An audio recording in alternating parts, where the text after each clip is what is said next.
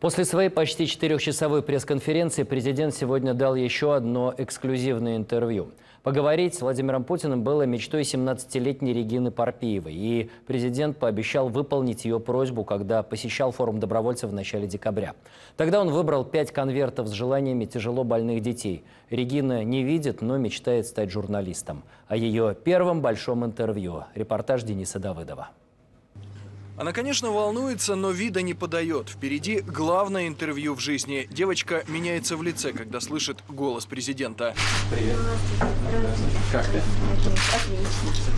Регина не видит с 8 лет. Потеряла зрение из-за редчайшей малоизученной болезни – оптикомиелита. Отец девочки, когда случилась беда, оставил семью. Мама одна воспитывает их с братом. С пятницы по понедельник я была на соревнованиях.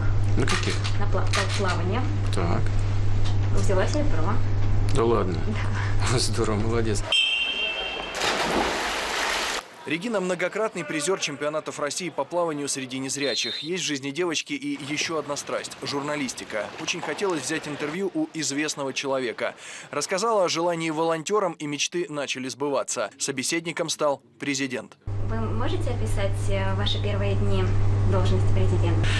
Да, это было нелегко. Это были очень сложные э, годы для страны в целом.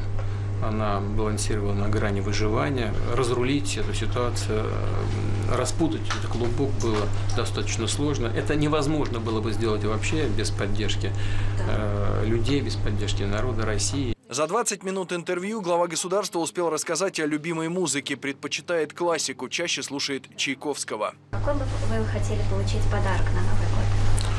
Сложный вопрос для меня. Э, Лучшим подарком э, было бы, что э, год прошел не зря, что мы находимся на правильном пути, добиваемся поставленных перед собой целей. Вот это осознание является самым главным для любого человека, ну и для меня тоже. Да. А у вас есть желание, которое бы вы загадали под бой курантов? Есть, но это же желание тайное. Но тебе могу сказать по, по секрету. Мое желание простое, чтобы все желания исполнялись.